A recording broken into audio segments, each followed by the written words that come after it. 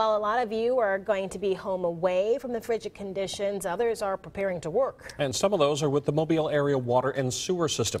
Fox 10 News reporter Chastity Bird shows you how it's getting ready.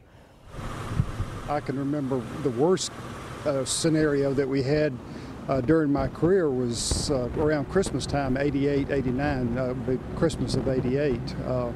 We had you know several days consecutive of uh, freezing temperatures, and that's always the worst case. Les Brown, Assistant Director of Mobile Area Water and Sewer, says that's exactly what we're going to see over these next couple of days. You don't get the warming the ground loses temperature, doesn't get a chance to warm back up, so the heat that you're getting from the ground can uh, that uh, you no longer have that as it dissipates over time. So you can get more freeze damage on the second night of a of a freeze than you can on the first night. Along with your pipes, Brown says a big concern is the strain that might be put on the system. We have people that run the water in their house because they don't have insulation, so that's a lot of people running water that creates a demand and then the ones that don't do that and their pipes freeze they break and they start leaking. So here's some tips for your pipes straight from the source.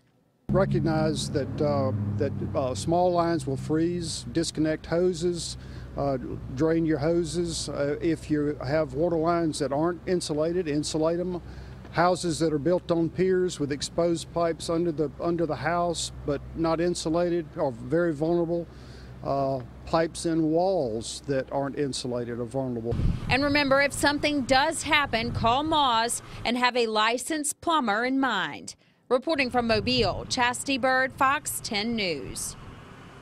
Local homeless shelters are busy preparing for tonight's cold weather. Folks at the Salvation Army say they expect more than double the usual number of people who need a warm meal and a warm place to sleep. If you or someone you know needs a place to get out of the cold, the Salvation Army has opened its doors as a 24-hour emergency shelter through Wednesday morning. That shelter is located in Mobile at Dauphin Street, just west of Broad. Donations continue to pour in at a local rehabilitation center damaged by fire on New Year's Day.